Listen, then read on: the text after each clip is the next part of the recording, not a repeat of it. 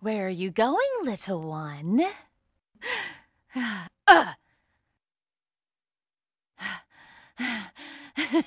Your bullets cannot harm.